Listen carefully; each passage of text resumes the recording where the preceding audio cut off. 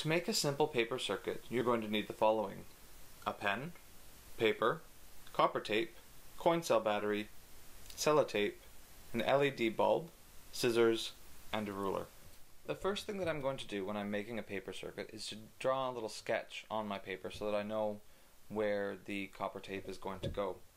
It's also important to fold down an edge so that's this is the place where my battery is going to go and I'm going to need copper tape going on the bottom and then copper tape coming here on the top so that when I fold it over it's on both ends of the battery. So I'm going to start with one that's going to be on the bottom. I'm just going to draw a line straight down like that. And on this side I'm going to leave a space for my light bulb because it does not need to go across the light bulb or the circuit won't work and then the last line here and this one will go onto the fold. The next step in making a paper circuit is to put the copper tape onto the paper. I would suggest not cutting the tape from the spool because it's a little bit easier and you don't know exactly how much you'll need and you don't want to waste much even though it is a cheap resource.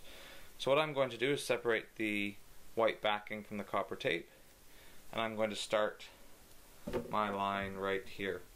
It's really important to try and get it straight because it is something that is difficult to keep in a straight line and I'm just going to pull the white backing and push it down with my thumb so it's nice and even on the paper.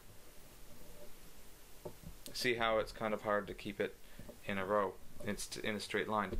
The next thing I'm going to do, and this is really important, is to, on the corners, I'm going to fold it that way, and then pull in the new direction.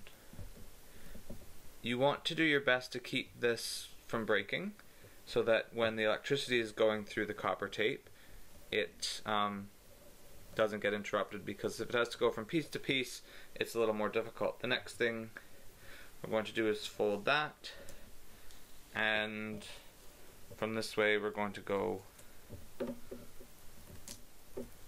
and keep on pushing it down until we get to that gap that I left for the light. At that point I'm going to cut the tape and I'm going to cut off the extra little bit of the white backing there so that we don't need that. Now I'm going to do the second bit. Same idea, only there's one turn here so it should be a little bit easier put it on as straight as I can pull the white backing bit and push the tape down. In the corner I'm going to fold it and continue on to this point. Then I'm going to cut the tape. The last part of making a paper circuit is to put the light and the battery in. It would be a good idea to check the battery um, when you're putting check checking with the um, coin cell battery and the the light, you want the long end to be touching the positive on the top, sorry, and the short end to be touching the negative on the bottom, and see how it lights up there, so we know both things work.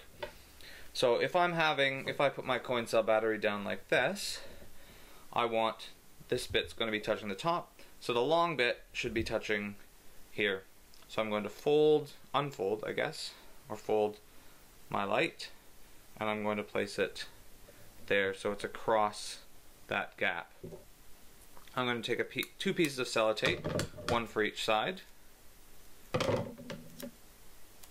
and I'm going to make sure the tape is holding the light down as best as it can.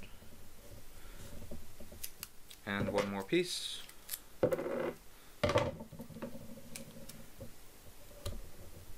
And now if I try my battery, let's hope it works. There we go. We've got a working paper circuit.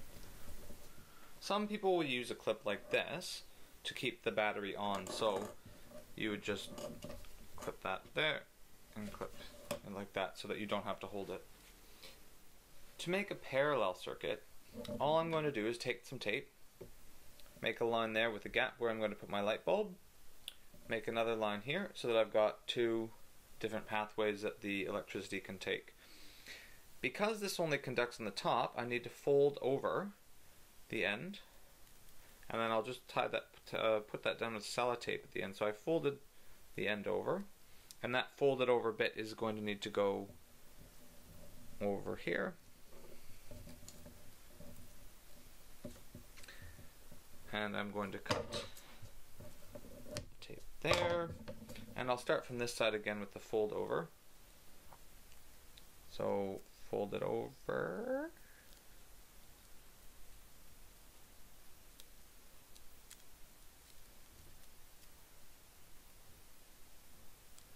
There we go.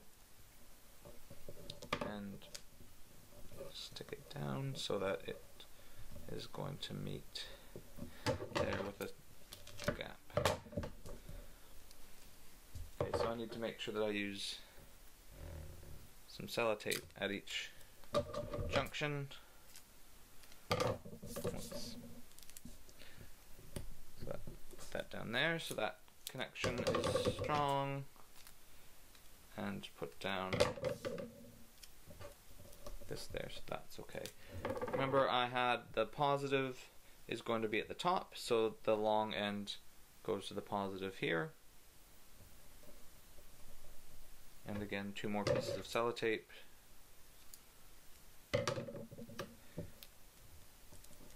Make sure it's in the middle so that it gets full contact with the um, copper tape. And one more piece of sellotape on the side. Make sure those are nice and firm and let's test our light. And they both go on mostly. Now the great thing about a parallel circuit is that if one goes out um, the other one will stay on because the electricity goes this way and it goes this way